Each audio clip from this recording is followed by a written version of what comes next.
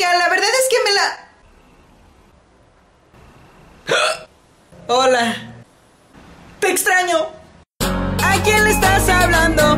Deja de buscarme. Yo ya te he olvidado. A mí ya no me hables. ¿Acaso no entiendes? Lo diré una vez más.